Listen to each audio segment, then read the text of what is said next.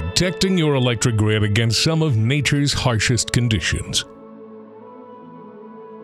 Extreme weather events can result in large-scale power outages due to the interconnected architecture of the grid. From individual homes to entire regions, utilities are doing more than staying ahead of the storm. They're integrating safer, innovative solutions and proactive strategies to lessen the damage, disruption, and downtime.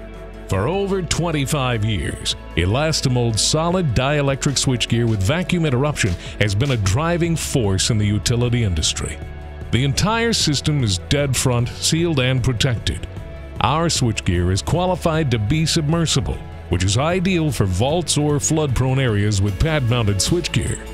So, from unexpected storms or flooding events, our equipment is designed to stand the test of changing weather conditions. Elastimold switchgear engineers know grid hardening is vital in preserving the flow of electricity. Our switchgear construction is corrosion resistant, fully shielded, and can operate in temperature ranges from 40 below to 65 degrees Celsius. Protect your precious time with your family even when severe weather may strike. ABB is proud that our switchgear can assist utilities in their efforts to endure some of nature's toughest conditions.